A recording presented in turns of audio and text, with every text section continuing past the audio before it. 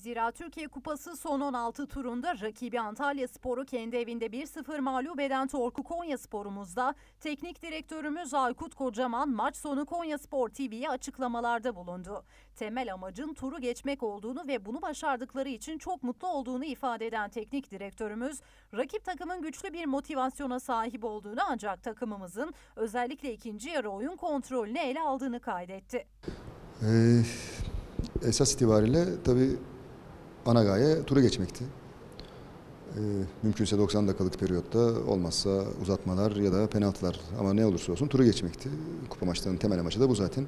Birincisi bunu başardık. O nedenle son derece e, tabii mutluyum. Ee, nasıl oldu onu birkaç cümleyle konuşmak gerekirse e, güçlü bir motivasyona sahipti Antalya Spor. Yani ilk maça göre daha yukarıdaydılar, daha serttiler, daha birbirlerine yakınlar, daha oyun anlayışları e, nispeten benziyordu ama biraz daha gelişmiş bir şekilde saha yerleşimleri iyiydi. Ee, ve hem oyun sertliği hem oyuncu sertliği daha yüksekti. Maçın özellikle ilk yarım saatlik bölümünde 20 dakikalık 20 dakika 30 dakikalık bölümünde çok e, yani çok fırsat daha aktiftiler bize göre ancak çok fırsat vermedik. Bizim takım savunmasıyla yaptığımız iyi savunma buna izin vermedi ancak bir şeyimiz eksik kaldı.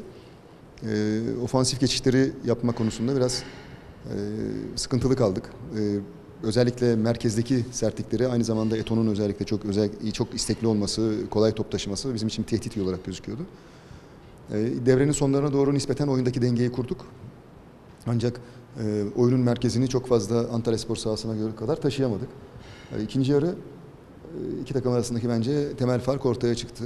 Daha e, birbirini yakın, yakın tanıyan oyuncular, uzun süredir beraber oynayan oyuncular, aynı oyun yapısıyla giden oyuncular. E, daha organize hal, aynı zamanda daha fizik e, gücü e, yüksekliği oyunun tam kontrolünü tamamen bize geçirdi. E, aslında gözüken şuydu. Belki bir 5 dakikalık oyunun sonlarına doğru 5 5 dakikalık golden evvelki dakikalık bölümde birazcık ipin ucunu kaçırır gibi olsak da maçın özellikle ikinci yarısındaki temel e, durum e, golü ne zaman atacağımızın e, beklentisiyle geçti. Sonlara doğru geldi ve son derece mutluyum. Bütün oyuncu arkadaşlarımı gerçekten canı gönülden e, kutluyorum. Torku Konya Spor'umuzun Türkiye Kupası'nda çeyrek finale kaldığını belirten teknik direktörümüz Aykut Kocaman, şampiyonluk ve final oynamak kolay değil. Disiplini ve takım savunmasına özen gösteren halimizi sürdürürsek rakiplerimizden bir adım önde oluruz ifadesini kullandı.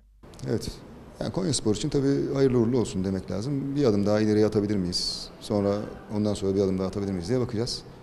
E, yavaş yavaş ağır ağır e, ama e, pekiştirerek gitmek böyle oluyor. Ama şunu tekrarlamakta fayda var. Biraz evvel söylediklerimi diğer arkadaşlara söylediğimi söyleyeyim. Hiçbir şey kolay değil yani özellikle futbol sahasında yani Antalya Spor'la içeride oynadık falan güzel seyirci avantajı ama maçın işte ne kadar birbirine yakın, ne kadar sert geçtiğini gördük. Dolayısıyla şampiyonluk, final oynamak, tur atlamak kolay değil. Yine bildiğimiz gibi disiplinli, takım savunmasına özen gösteren, çalıştığımız şeyleri sahada uygulamak için e, ısrar eden halimizi sürdürmeye gayret edeceğiz. Bunu sürdürürsek de e, rakiplerden bir adım önde oluyoruz. Bu bizi nereye kadar götürür?